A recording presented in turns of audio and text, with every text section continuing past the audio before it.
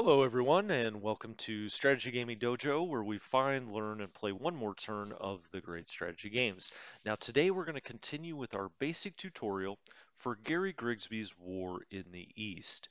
This is episode number seven, and in this episode, we are going to go into the Air War. And I say that as a generalization, the Air War, because there are about three different systems in this game that let you handle how aircraft can help your ground units, uh, whether that be by transporting them, defending them, or bombing enemy units to soften them up.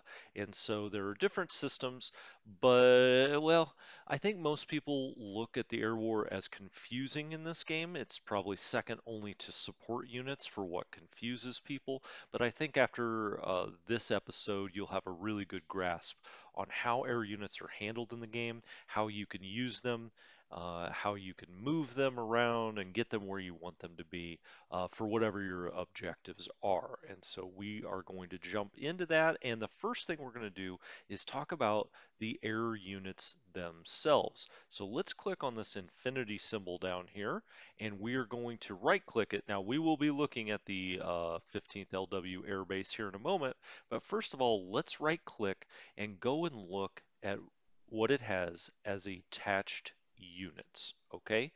These attached units, when you click on them, are the actual independent air units, okay?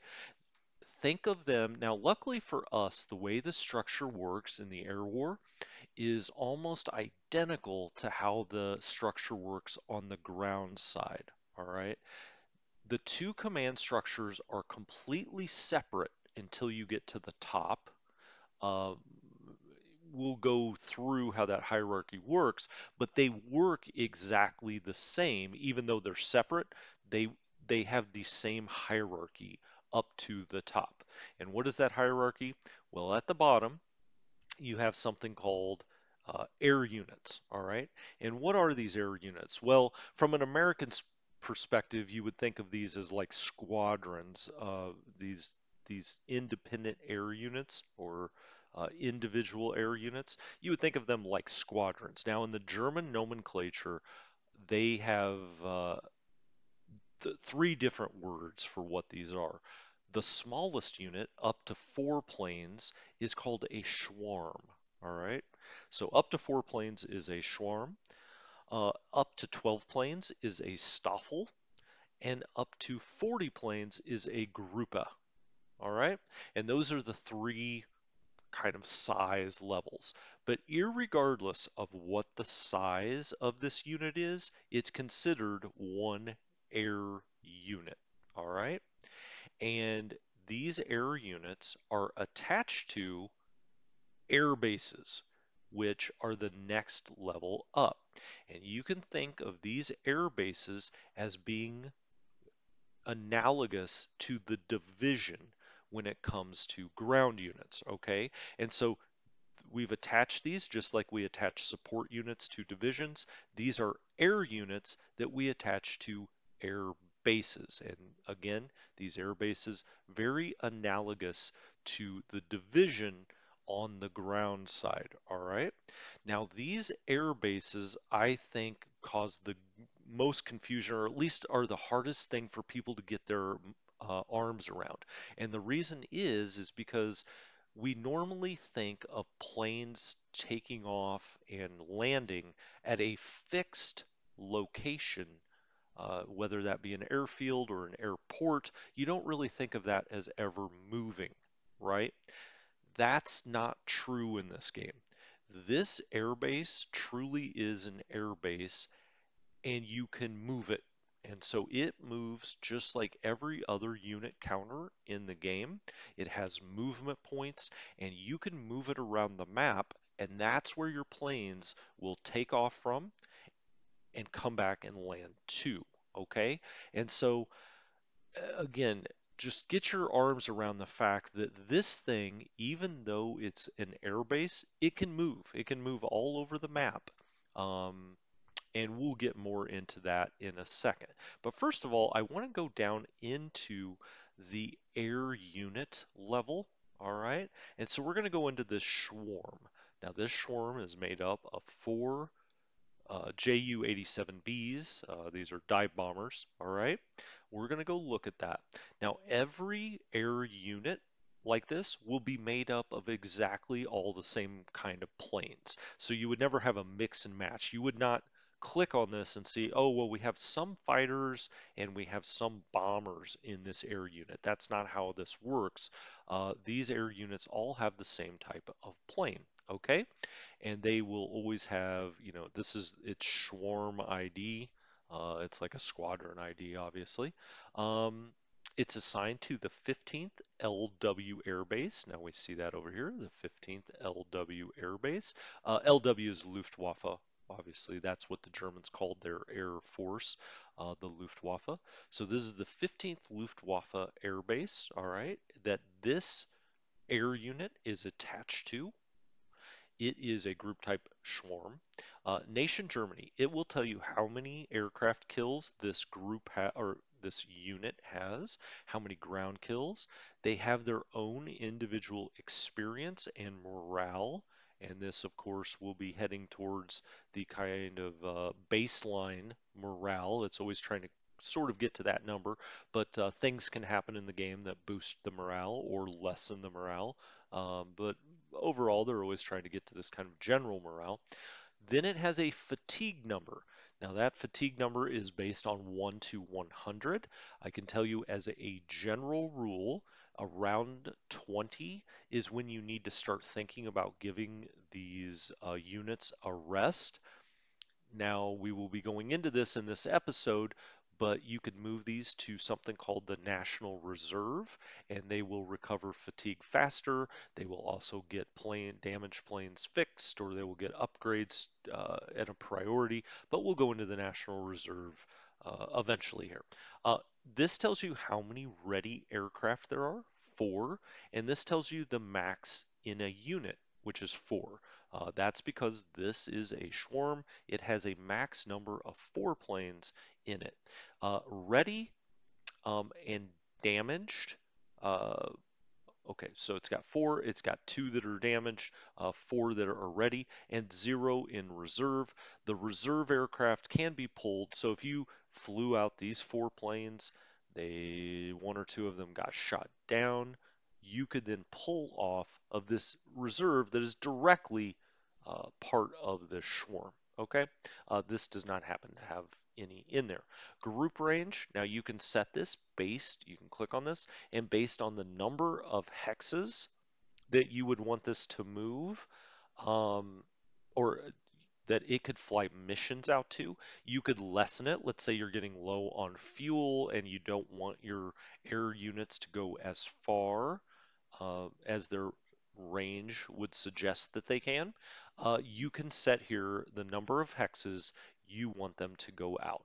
If you have not set that and it's just going out to their natural range, there will be an asterisk here. Night missions, um, early in the war, as the Luftwaffe, you have a big advantage over the Soviet Air Force. Uh, the Soviet Air Force, a big part of that is destroyed on day one, and so you do have air superiority. You will probably not be flying many night missions. As the war moves on, Soviet production ramps up, Lend-Lease kicks in, the Allies start giving the Soviets more and more planes. Uh, you may be forced to fly night missions. Uh, with certain aircraft, and that's what this is for. You can pick, you know, yes. Oh, well, I clicked this over, uh, and so now we can't click it back. Doesn't matter for our purposes here. So be careful with night missions. Uh, if you select yes, uh, at least until next turn, uh, we cannot go back. Um, this over here will tell you the type of aircraft, the Ju-87B. Um, and then it says dive bomber. All right. So it's always going to tell you down here on this level, what do these planes do? And you've really only got, uh, you know, six or so kinds of planes that you have to remember. Uh, you've got fighters, fighter bombers, level bombers, dive bombers, and recon aircraft. I mean, just generally, and transport. Okay. So that would make six. Just generally, those are the six kinds of aircraft that you have to remember Uh, I think if you're playing this game, you kind of already have a pretty good idea of what they do. Uh, fighters run escort missions. Now, they can't strafe the ground, of course, uh, but they will predominantly be protecting your other planes, and the planes that they'll be protect, protecting for the most part will be either dive bombers or regular level bombers uh, as they go on missions to try to uh, destroy enemy units, to try to hit enemy installations, um, to blow things up. All right, so fighters protect. Now you do have fighter bombers. All right, and those fighter bombers can either run missions as fighters or bombers, but you will have to select that down here if we have a swarm or a Staffel or a Gruppe that is fighter bombers, we would pick down here whether we want them to operate as a fighter or as a bomber, at least for that turn. Okay, now usually those fighter bombers, when they're operating as fighters, are not as good as normal fighters, and when they're operating as bombers, aren't quite as good as normal bombers. That's a generalization. Uh, but they are more flexible. Obviously, you can use them in both roles, which is very nice, depending on what you have going on. Uh, when you do see those fighter bombers, you'll also see what they were trained as.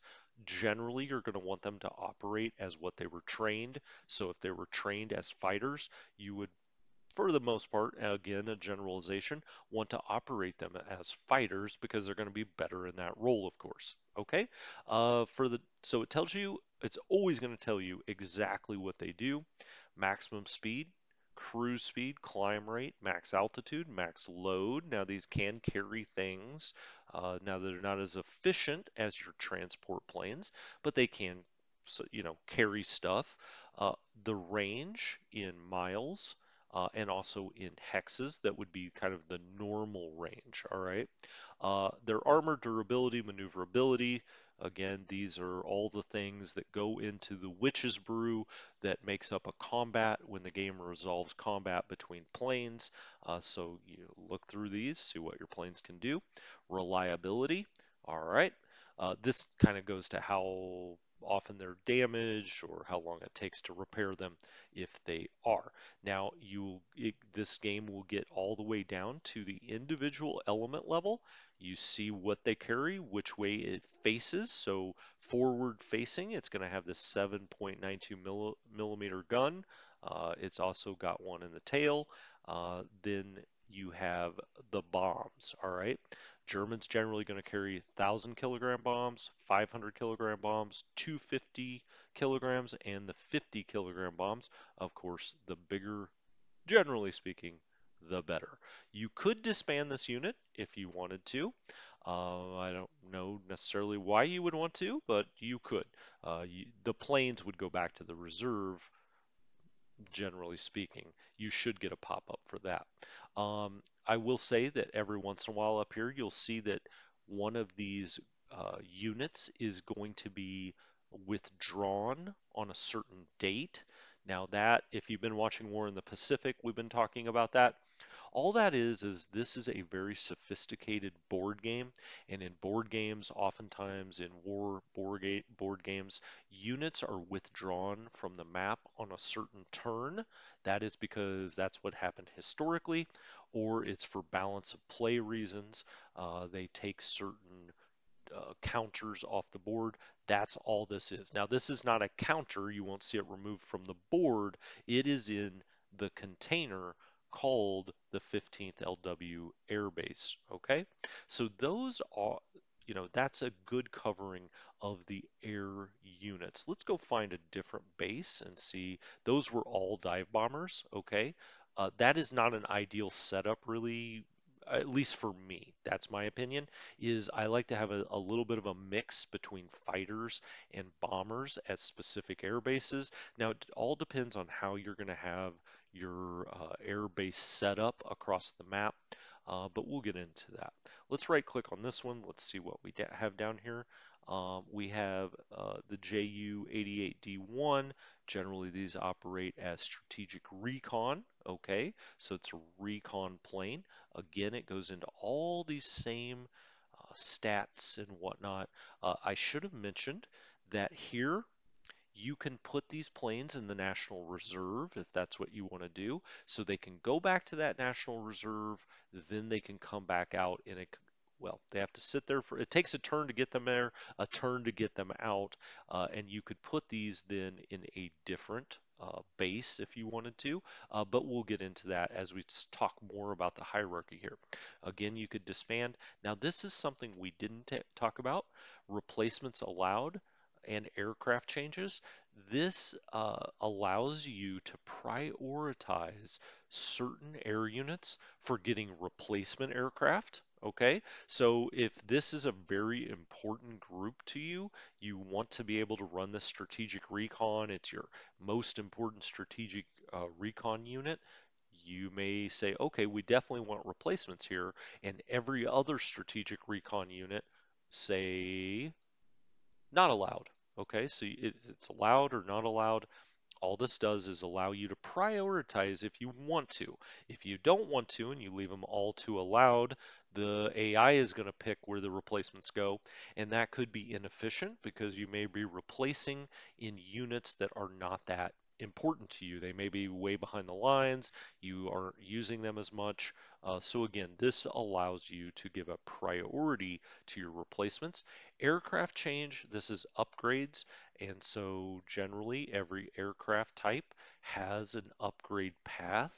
Uh, and as soon as there are enough of those planes in the pool, it will um, change out this unit for you. You can say auto if that's uh, if you just want the AI to handle that, or you can click on this and you can say uh, only upgrade it uh, the reason it says this is because if you have it on auto, depending on what planes are in the in the pool, uh, the game may actually uh, not upgrade. They may de-upgrade your plane. So it may it may go down a level because the game decides that you have so many of this plane that's not quite as good as the one you're flying, and you need this plane somewhere else uh, in another unit that it may actually back you up uh, this allows you to say, I only want this unit upgraded. I never want it to go backwards on the chain. Now, if it did go backwards, eventually, you know, it would catch up and upgrade again. Uh, but, you know, eh, if you want to specify that it can, the AI can only upgrade this unit, you can pick that. Or you can manually do it. And here you will see the upgrades that you could potentially pick. Now you can't do it here because there are none available. You see the type of plane that is already being flown, and then you see three others uh, that you could potentially pick to go into this unit. Uh, I never really do that. I, uh, you know, you could pick here. It tells you how many are in air groups, how many factories are making that certain kind of plane. Uh, you could also look up at the production tabs to look for that. Um, but essentially, I always have these on auto. I know some people would disagree with that. Some people like to micromanage exactly what their upgrades are and know which units have the you know the shiniest new plane. Now you could know that, but they want to have control over where those are going. I do understand that. That's just not how I play the game. It's not where I decide to spend my energy micromanaging. I would rather do that on the uh, ground units personally. That's just me. Uh, but you can pick however you want to play the game right there. All right. Uh, we also have some DO17Zs here. Oh, let's go back. There we go. We have 18 of these. It is called a Gruppe, so you could have up to 40. Uh, you see we have 26 damage now, so uh, as these get repaired, we'll get closer up to that 40 level. Um, it is part of the 14th LW. It oh, here's one. So it withdraws on turn 157 in 1944. All right, not something we really need to worry about right now. Um, again, it's got all the stats here. You can look at that. This is a level bomber. All right, and uh, it's got you know a pretty good range, 800 miles. And again, you could put it in the reserve if you want to, but we're going to get into that as we move along here. So again, you've got air units on the bottom, and I might as well use this excuse to draw. very quickly. At the bottom, you've got these attached air units. So we have air units at the very bottom of the chain. Those are made up of individual planes, uh, but we're you know, just going to look at, at the air unit as being the bottom here.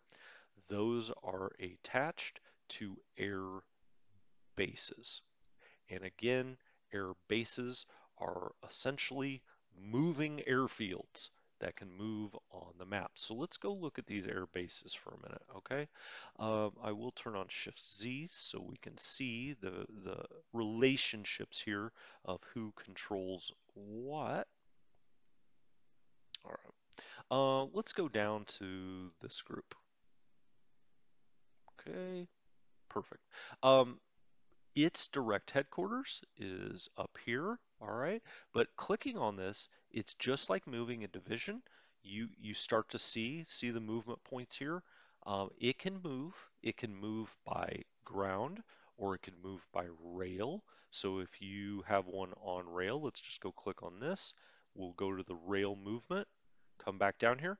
You can move this by rail and it again is a moving airfield.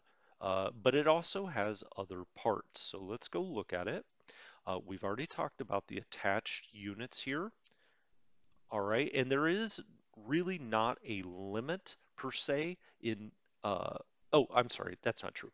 You can have up to nine air units attached to an air base, okay, regardless of size. So if these were all 40, that would be fine. You can have up to nine attached to an airbase. The problem will come as we get into its actual ground elements. So the ground elements for an airbase are always, an airbase is always going to have anti-aircraft, okay? That's just natural. It's an element of this airbase. It's not like it's an attached, anything attached down here. Um, as you can see, you know, there there's just there's nothing else we could attach as far as like anti-aircraft or whatnot. What you attach to air bases is always air units, all right? But it does have this air support and support. And why is this important? Well, you essentially need one point of air support uh, for every bit of aviation support that you need for the aircraft that you're flying out of this base. All right, let's back up there for a second. Air support. If we go down here, support and need, you see the total amount of support that is at this airbase, 250. Okay, where does it get that number? 220 is called air support, 30 is called support. What is this? These are the guys that sit in the office and make sure everybody has uh, food to eat, that they the planes have bullets, uh, that they have bombs, that you have the right flight suit, that uh, it's all of those logistical things that make up a unit in this game is abstracted to something called support. Now, support is general support. Air support uh, would, you know, if we're talking about the abstraction, would include the guys that fill up the planes with fuel. Okay, the guys that have a mallet out there knocking a, a dent out of the wing, uh, the guys that maintain the airfield. Okay, it's all of those things is air support. All right. Well, depending on the number of planes that you have at a base, you need a certain amount of air support. In this case, we see the total number. Now, you you know, it may be helpful if they would have in parens put what the air support is, but you can very easily see it up here. It's 220 out of the 250 is air support, all right? 161 is the total amount of support it needs, or this, when I say it, the air base needs, okay?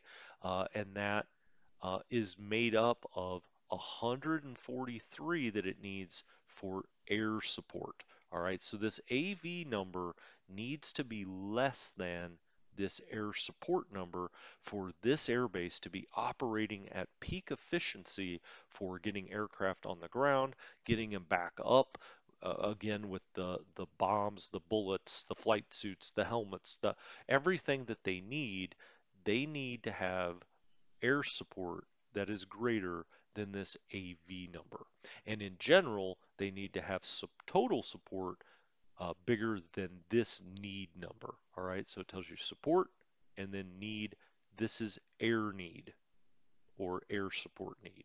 All right, um, and so you know this this air base has units that are just units of the base itself, and then you can attach these air units to it. Uh, you're limited to nine, or well, you're not limited. You can go over the air support need, but then your units are not going to operate nearly as well. All right. Um, and so these are very analogous to divisions when we think of ground units. All right. They move, they have headquarters, they have attached units to them, and you know they can move all over the map. These are what you will be ha you will have behind your front lines that uh, will be supporting your ground units. So, in, you know, it will become a question. How close do you want to have this to the front lines?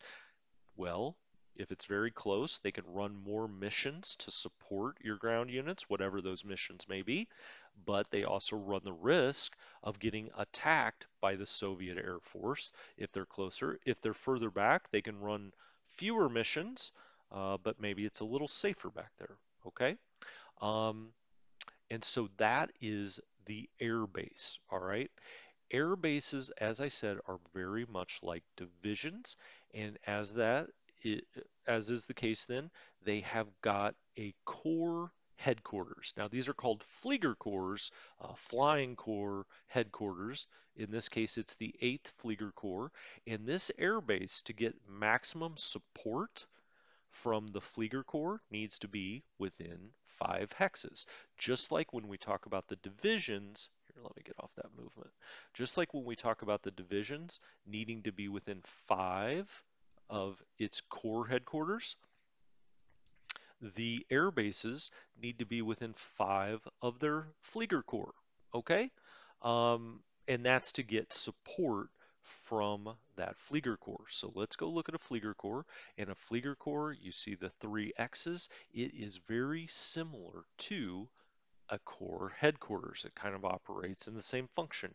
It gives support to the units underneath it. In this case, those units can either be air bases, all right, or um, they can also attach support units. So let's just pull a support unit. Uh, so again, you see this assign button that popped up during ground units. The only thing you can attach to air units or ed air headquarters, I should say, are flak, anti-aircraft. So let's attach one of those. Um, uh, let's attach one of those. Right. Why is it not here? Oh, sorry. I was like, ah, what? Attach support. So just like with the ground units, you can flip back and forth and see these. This is the attached support. So air headquarters on the Flieger Corps, Corps level can come and attach support, but only anti-aircraft, okay? And why would you want that to be? Well, it's just like every other headquarters unit in the game. You may want to protect it from Soviet air attack, so they give you the option. But the important thing here uh, for the air war is attached units. Now, a Flieger Corps can attach air.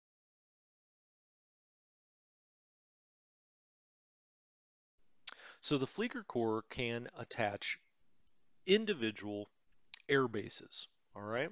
And it, it just acts as a corps headquarters for these air bases. It provides support, and then maybe most importantly, it has what is called a supply dump and a fuel dump. And if we click on these, all this does is it's uh, essentially stockpiling fuel and stockpiling supply that it could then, assuming they're within command range, give to the air bases to help with their fuel and supply needs. Okay, and so this is really just like a corps headquarters. It's got its own TOE uh, based on these items.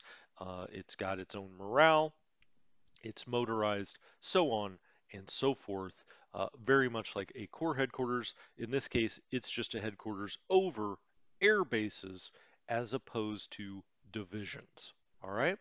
The next level up is what is called a Luftflotte. And a Luftflotte is like an army headquarters. All right. So in on the ground side, you think of army headquarters. They command corps headquarters generally, although they can command individual units as well. And in this case, uh, you see that this Luftflotte, first of all, let's go to assign. It could also pull anti-aircraft if you want to protect this headquarters more. It could have some anti-aircraft attached to it. And then you see its attached units. So it right now has no attached support. Attached units, you see the 2 Flieger Corps, the 8th Flieger Corps, all right. But then it also has an individual airbase unit attached to it. So just like the Army headquarters on the ground side, it can uh, command corps headquarters or what is the equivalent of an individual division. Now, generally, I like to get these air bases directly underneath a Flieger Corps. Uh, so we could go to this, we could click on headquarters, and as you can see, we could push this down just like the push and pull method for support units, and we could assign it to the two Flieger Corps for no admin costs. Now it's down there, all right, and if we, uh, oh, this is the airbase. It's showing us the airbase that we just uh, changed. It's a two Flieger Corps, all right, and it's bigger headquarters is Luftflotte 2. And again, these are like corps headquarters, these are like army headquarters. Uh, and if we go look at the Luftflotte, it very much like the Flieger Corps has support that it can lend out uh, based on the needs of the headquarters underneath it. It has a supply dump and it has a fuel dump. Uh, you will also know, notice, uh, no, I guess you wouldn't know it if you're listening to this. Uh, you will also notice that it has this support level idea. Uh, this is a has has to do with attached support. I would never do it this way. We would always want this to be at zero. If you want to uh, get some air, anti-aircraft here, I would always, you know, attach that directly. Uh, you don't want the game shuttling things in and out or anti-aircraft in and out of these Luftflottes. Uh, and so these Luftflottes then, every single one of them is attached to an army group and that's as high as it goes. And this is when the chain of commands meet up at the top, right? So on the army, on the ground side, I should say, over here on the ground, you know, you have support units, you then have uh, divisions, then you have corps headquarters, you know, corps HQ, you then have armies, army headquarters, and then in the middle, I'll put here Army Group Headquarters, AG. AGHQ. Wow, this is the best I've ever drawn with a mouse. On the air side, you have air units, which are those swarms, Staffels, and Gruppas. You have air units up to air bases. There we go. Air bases onto Flieger Corps. Flieger HQ. All right. Flieger Corps up to Luftflotte HQ. And then those Luftflottes, that's where the chain ends for air units. They always go to army groups. All right. And those are the two different chains of command. Um, these air units that are part of the air bases, they can be moved around and they could be moved to different air bases. They could be moved, uh, as we've seen, up to the Luftflotte level if we wanted to. Uh, we could attach them, um, you know, directly to uh, a Flieger Corps if we wanted to, uh, but they're very much like support units. They can kind of move around, and next I'll show you how we move those. Um,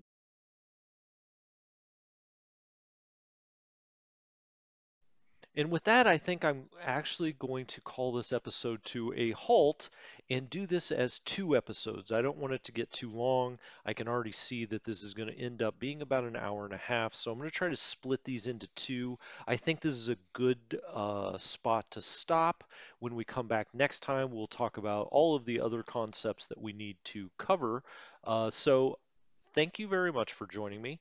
This has been episode number seven. It's the first part of the Air War. When we come back next time in episode eight, it will be the second part of the airport. Air, airport, Air War. So, as always, Strategy Gaming Dojo, thank you so much. I'll talk to you next time.